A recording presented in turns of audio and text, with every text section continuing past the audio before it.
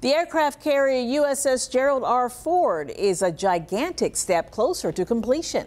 The carrier completed its third and final shock trial yesterday, withstanding the detonation of a 40,000 pound explosive device. Mike Gooding tells us what this means for the Ford's future.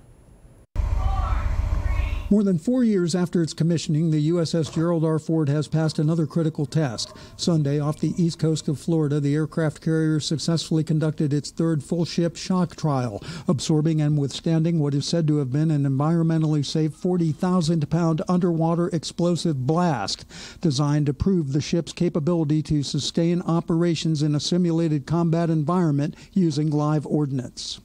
It almost brought tears to my eyes to see how well this crew performed uh, in this live fire test event. The shock trials did mean that the Ford had to destage all work related to the troubled Advanced Weapons Elevator System. Nine of 11 lifts are now delivered and reportedly fully functioning, but two of the lower stage elevators, four and six, are still a work in progress and are being groomed for completion by the end of 2021. There's certainly been a a lag here or disruption period, but, but we uh, we've planned for that. Uh, we will be done with them this uh, calendar year.